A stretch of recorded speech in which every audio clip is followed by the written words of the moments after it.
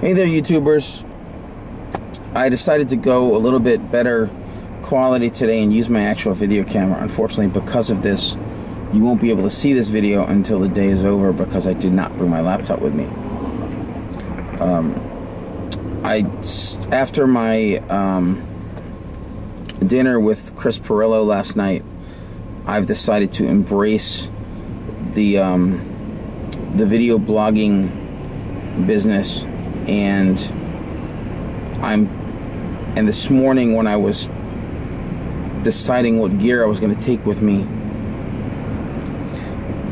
I decided to leave the laptop at home uh, and take my video gear. So I have my camera, my mic, which is not plugged in right now because I'm just in my car. But uh, I'm hoping to do some interviews today with some of the people at PubCon uh, and kind of create a little bit of a stockpile of content. My thing is, I, I was trying to f- decide what genre I was going to focus on in video blogging um, because I have a lot of interest and a, and a lot of background. But one of the things I've realized at PubCon is that I really, really enjoy marketing and uh, internet marketing and video and video content. So and and to break into an industry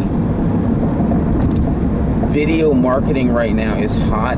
It's um, it's also it's skyrocketing in popularity and there's so many people doing it badly. So I think I have the potential to help some companies with their video content and help some companies create better um, marketing videos for their for their their business. So that's that's what I'm going to focus on now. That doesn't have mass appeal, and it's I'm never going to get millions of view, viewers, but I'm not concerned with millions of viewers. If I only get hundred viewers, but I can make an impact to those hundred viewers, that's what I care about is is engagement and and helping that hundred people. So um, look for more videos coming out, and, and I'm hoping to have a, a, kind of a stable of, of content that I can I can pull out from PubCon and give you some interviews with some of the attendees. For those of you that, um, for whatever reason, weren't fortunate enough to be able to attend. Talk to you later. Bye.